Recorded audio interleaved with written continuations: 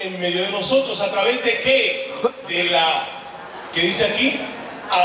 De la, primero de la conversión. ¿Conversión a quién? A Jesucristo. Segundo, en el grupo de oración nos abrimos al Espíritu. Por eso nosotros siempre pedimos y decimos, ven Espíritu Santo. Tercero, nosotros nos reunimos para estar abiertos a la recepción de los dones y carismas.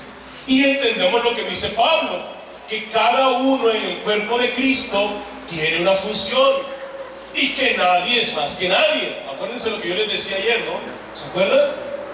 Que esto no es una, sino que es un Cuerpo, donde cada uno tiene una función, función y servimos al centro. ¿Quién es el centro? Cristo, Jesús. Él es la cabeza del cuerpo, que es la iglesia. Cuarto, nos crecemos en qué?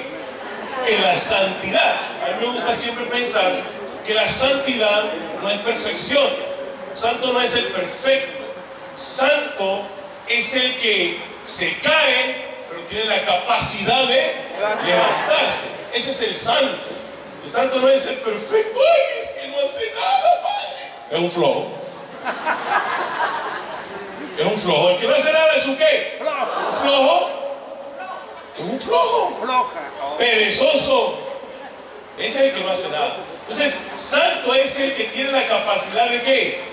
De levantarse cuando se ha caído, cuando ha perdido la batalla, cuando ha pecado. Es el que es capaz de ir a buscar la confesión. Es el que es capaz de ir a pedir perdón. Es el que es capaz de no guardar resentimiento. Es el que es capaz de decir, paso la página. Es el que es capaz de decir, eso que está diciendo el hermano no me, no me destruye, me anima a seguir adelante. Ese es el santo. Por eso, usted es santo. Ay, no, padre, no soy santo. Dígale al que tiene a su lado, usted es santo. Santa. Uy, pero padre, si tiene cara de diablo, padre. Te reprendo, Satanás. Nada. ¿Por qué somos santos? ¿Por qué somos santos? Porque tenemos la capacidad de levantarnos del pecado. Amén. Somos santos porque tenemos la capacidad de levantarnos de él. Porque los santos no son gente perfecta. Los santos no son gente perfecta. Cuando usted ve en una iglesia a un San Fra- a un, a un Mar- ay, San Martín de Porres, pero usted se parece mucho a San Martín de Porres. Me falta la escobita y el perrito. No, San, San Martín de Porres no era perfecto. No era perfecto. Tenía una paciencia tremenda. El- esos días estuve, hace como dos semanas estuve donde Padre Pío yo decía, "¿Mm? ese tipo era cascarrabias". ¡Uh! Y vi yo, le vi, yo ese cuerpo que estaba ahí, estaba el cuerpo y yo, "Te fuiste bien cascarrabias. Pero mira, me digo, santo. Porque la santidad no es que perfección. La santidad es la capacidad que tiene el ser humano de levantarse. De levantarse. ¿Y a qué más vamos? Entonces, entonces, claro, en el grupo de oración lo que hacemos es que es gente que es imperfecta, que se ayuda con la oración, con la palabra, con los sacramentos, ¿a qué? A levantarse. Lo que le estamos dando a la gente es herramientas para que pueda ¿qué? Levantar. levantarse. Téngalo claro. Si usted lo tiene claro, la gente lo tiene claro. La gente no va al grupo de oración a verle la jeta a usted. No, no, no va a eso. La gente va al grupo de oración porque necesita ayuda.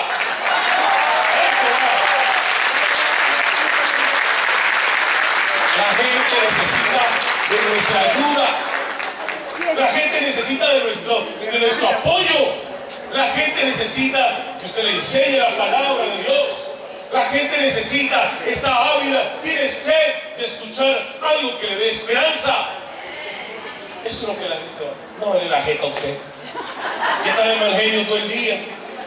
Que se cree la que manda o el que manda. No, no, no ni tampoco va a escuchar es su sabiduría. Aquí está el que más sabe de Biblia, el que más sabe de, liturgia. Necesita Dios es escuchar una palabra nueva. Eso es lo que necesita la gente. El entonces, entonces no nos formamos. Como no se forme, mire, pila, porque el que no se forma se deforma. Entonces, por eso hay que buscar las escuelas de crecimiento. Yo no estoy diciendo que no se forme, nada, porque no falta que diga, ay, entonces no, por eso es que yo, yo quiero que todo me venga de arriba. Dila porque le pueden caer osos. Le pueden apachurrar. Hay que formarse. Pero lo que digo es que el centro, el centro de todo no soy yo. El centro de todo es quién? Jesús. Jesucristo el Señor. Y quinto, ¿qué hacemos en el grupo de oración? evangelizamos. ¿Qué hacemos en el grupo de oración? Evangelizar. ¿Qué hacemos en el grupo de oración? Evangelizar. Entonces, ¿por qué después de 10 años siguen las mismas cinco viejas ahí?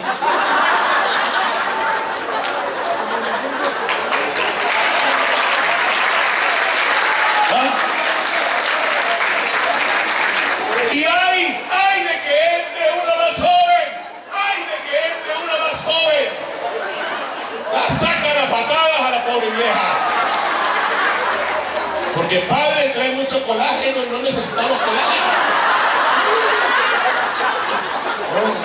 la sacan a patadas. Las mismas cinco viejas de siempre. Imagínense. ¿Así vamos a renovar la iglesia? No, muchachos y muchachos. Necesitamos evangelizar. Y la evangelización tiene que ser, como lo dice el objetivo, con el poder del Espíritu Santo. Padre, ¿qué significa tener el poder del Espíritu Santo, Padre? Tener el poder del Espíritu Santo es ser coherente. Ser coherente. Es decir, cuando uno es coherente, pero miren, escuchen lo que le voy a decir. Escuchen lo que le voy a decir. El que es ungido por el Espíritu Santo es alguien que empieza a vivir una vida coherente. Y una vida coherente es una vida en la cual yo reconozco que estoy, que tengo pecado. Porque ser ungido también pasa por, por este sentido de sentir sentir que, estoy en pecado. Pero el que es ungido por el Espíritu siempre tiene una sed, una, una sed grande de llenarse del poder del Espíritu Santo. Tiene una sed grande por escuchar la voz del Espíritu Santo.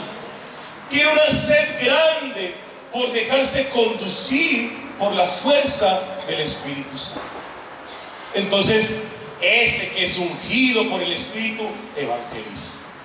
¿Y evangeliza por qué? Porque Él no quiere ponerle una pistola a nadie para que crea, sino que entiende que la fuerza del Espíritu es atracción.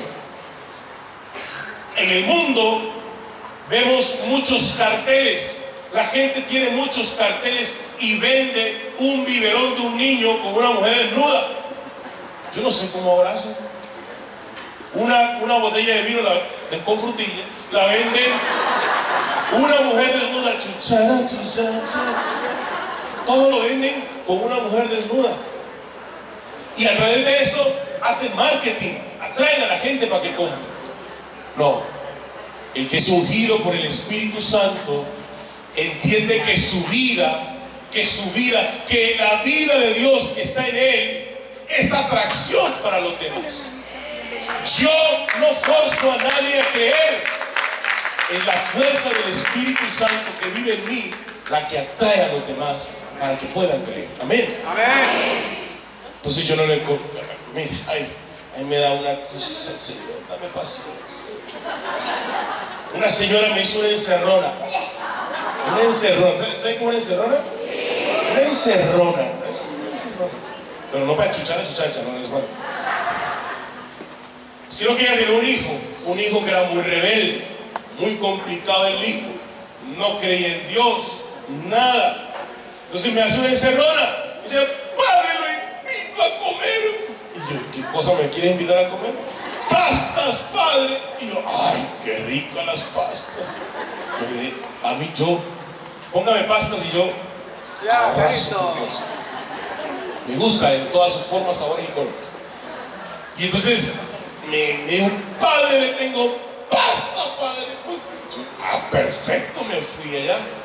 Y me pone a esperar como una hora y, y me sienta y le digo, ay, para que hable con mi hijo, padre.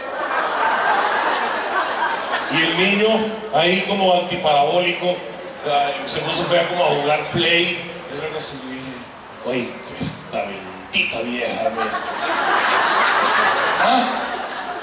Pero yo digo, como yo digo, toda ocasión es un espacio para evangelizar. Eh, Pero, pero no me hagan eso porque, ay, me da, ay, que se me sube y me baja, ay, no puedo con eso, no puedo con eso, no puedo con esa encerrada. Entonces, yo que hice, como yo jugaba también play, eh, oye, ¿qué estás jugando ahí? Yo ni me acordaba, ese, ese, yo había jugado ese juego, pero hace, ¡uh! Yo le dije, ay, ¿por qué no jugamos? Él me miró así, usted no sabe jugar. Me gané.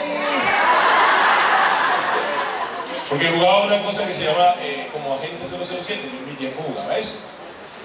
Toda ocasión es espacio para qué? Para evangelizar, me tocó. Pero no hagan eso, entonces. No hagan esas cosas. Pero lo que quiero decirles es que a veces Dios se vale de cosas extrañas para hablar de Él. Yo trabajo en una universidad y me he puesto a buscar, a buscar la manera de cómo atraer a los jóvenes de la universidad para evangelizarlos. En esos días estaba hablando con, con Ricardo, porque voy a venir aquí a, a unas cosas a Concepción. Y entonces, eh, bueno, yo pongo música, pongo dulces, pongo galletas. Entonces, muchachos, como tienen hambre, va allá. Esa es mi manera. Entonces van llegando y uno va hablando con ellos, va conversando. Atracción, atracción. Entonces lo que